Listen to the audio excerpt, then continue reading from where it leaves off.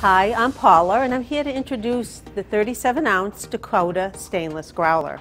Perfect for enjoying your cold beverages, the single wall growler is made of high grade 18-8 stainless steel. There is a screw top tethered lid that stays connected to the growler.